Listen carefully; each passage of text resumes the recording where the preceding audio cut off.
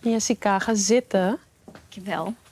Prachtig was dat. Ik Dankjewel. ben helemaal bij wegdromen. Wat, wat zong je precies? Eh, dit liedje Soeda Belaya gaat over heimwee. Dus ver weg. Ik ben eigenlijk aan het mijmeren. En het, eh, je hebt er veel verdriet van dat je ver weg bent van waar je vandaan komt.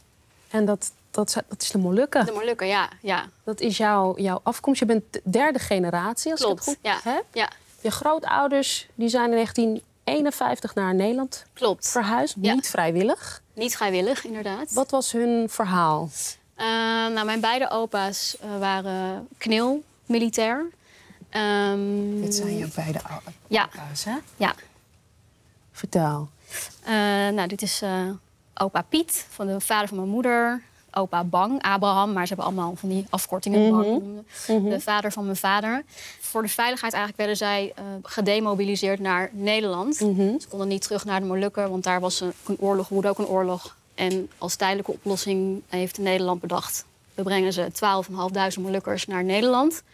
Tijdelijk. Ehm, maar dat is dus inmiddels 67 jaar, alweer, geloof ik, als ik goed reken. Ehm, Praten jullie daar vaak over thuis? Het verleden en de nou, heimwee? eigenlijk niet. Eh, ik denk dat mijn opa's en oma's misschien te getraumatiseerd waren om daarover te praten. En ehm, En Vroegen jullie daarnaar als kind? nee, nee, ook niet eigenlijk. Maar nou ja, het was dus natuurlijk wel de muziek. Dus er werd heel veel gezongen. Want Ja. die liedjes gaan dus veel over de Het zijn veel odes aan de schoonheid van, van de Molukken. Ja. En dan specifiek van Ambon, want daar komt dan mijn familie Ja. vandaan. Zou je Dus, zeggen eh, dat de muziek dan ook echt een, een uitlaat Ja, zeker wel. was? Ja. ja, voor mijn opa zeker wel. Ja. En waar gingen die liedjes nog meer over? Heimwee?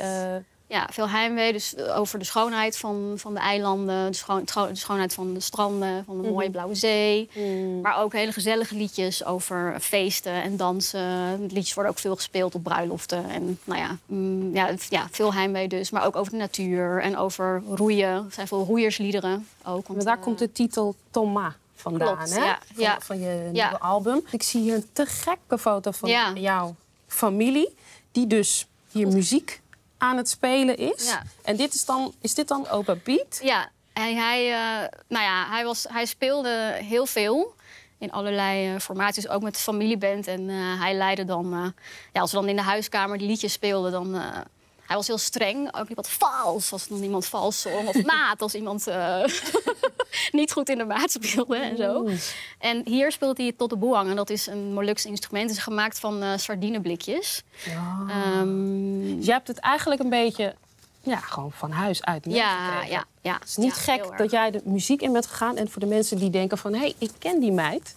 Jij zat onder andere eh, vier jaar lang ook bij Jet Rebel in Klopt, de band als ja. backing vocal. Ja, Maar dan toch op een bepaald moment gaat dit kriebelen. Je, je roots. Ja. Hoe, hoe is dat gebeurd? Ehm, ja, ik, ik ben op een gegeven moment eh, eigenlijk die liedjes weer gaan spelen op de ukulele. Ja, toen ontstond er een soort van urge. Dat ik dacht van, goh, wat zou het gaaf zijn om dit eh, materiaal op te nemen. En dan heel natu- zo natuurlijk en puur mogelijk eigenlijk. Zoals ik het in ieder geval ken uit de, uit, vanuit de huiskamer. Een beetje Ja. die vibe eh, pakken. En hoe is dat gelukt? Want Jelte, Jet Rebel, heeft je daarbij geholpen, hè? Ja, ja. Hoe, ja, zijn nou jullie, ja, kort, hoe zijn jullie te werk gegaan? Ja, op een gegeven moment zei ik gewoon tegen hem van... het lijkt mij gewoon heel leuk om Molukse liedjes op te nemen. En hij was gewoon super enthousiast. Hij zei van, ik denk dat ik dat heel mooi kan vangen, het idee wat jij hebt. En toen op een gegeven moment had hij dus die analoge studio ook. En dat, nou, dat past gewoon perfect bij eh, wat ik in mijn hoofd had. Dat is heel goed gelukt. Je gaat nog een, een, een stuk voor ons spelen. Waar gaan we naar luisteren, het tweede nummer?